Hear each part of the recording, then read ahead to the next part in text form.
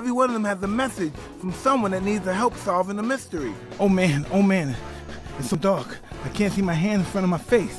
Oh, to do. I'm gonna use my fist to beat the out of Chupacabra, the only thing I've never beaten the out of yet.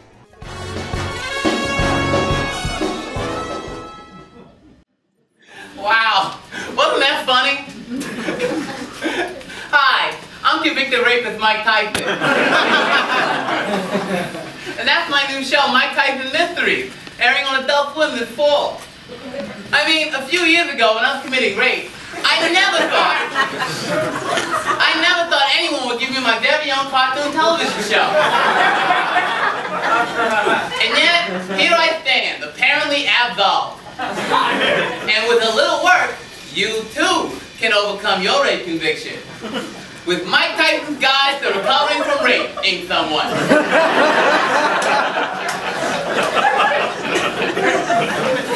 Step one, take as much time as you need. Now recovering from raping someone can be a long and difficult road. It can take years to fully rebound. During this period, go to court mandated therapy. Serve some jail time. Take comfort in your fans, your friends, and your family. Unless you rape them, of course. Eventually, people start to forget about you. That's when you do something fucking crazy. For me, this was biting off Evander Holyfield ear in 1997. Yeah. See, this kept me in the public's mind, but for reasons other than forcible rape. Yeah. You see, some people may think uh, it's counterintuitive to use further violence to offset a rape charge. Who the fuck thinks it's it? Huh? Who the fuck thinks it's counterintuitive? I will fucking kill you! I will skull fuck you! And I will eat your children! now you just focus on the fact that I went fucking bananas. For years, I was only known as the man who bit off Holyfield's ear. Which is way better than being known as the man who raped an 18-year-old girl. Eventually, this will all work out. You might even be able to get some mileage out of it someday. I'm sorry, Evander. It's your ear.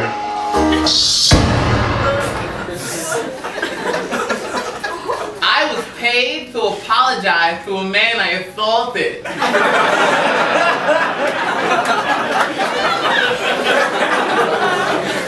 it was hilarious. Foot Locker would never pay me to apologize to the woman I raped, though. I guess that wouldn't sell sneakers. Anyway, that brings me, this commercial brings me to my next step. Do something you're bad at. I'm really bad at a lot of things. Obtaining consent comes to mind. but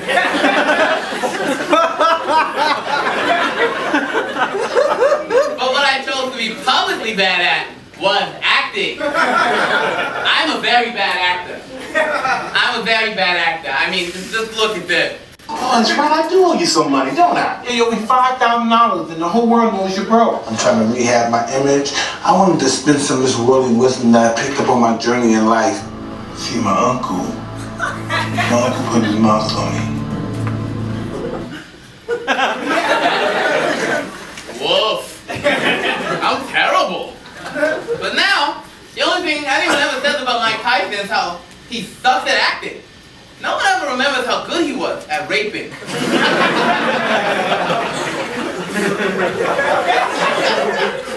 anyway, on to step four. Just kidding. It steps to have the public completely disregard your rape and give you a television show. So, be sure to check out Mike Tyson's Mysteries on Adult Swim fall. And also, don't forget to check out all these other cool seminars that are going on this week at the convention.